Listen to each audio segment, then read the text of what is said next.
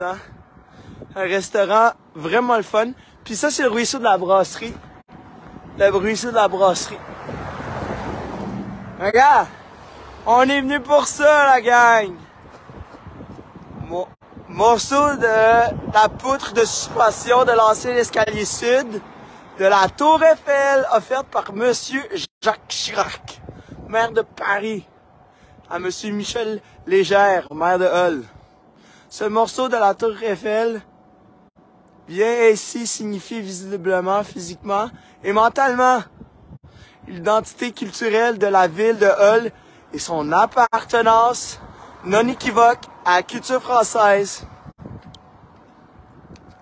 Le vieux Chirac, Jacques Chirac. Yeah, my guy. Jacques. Jackie boy.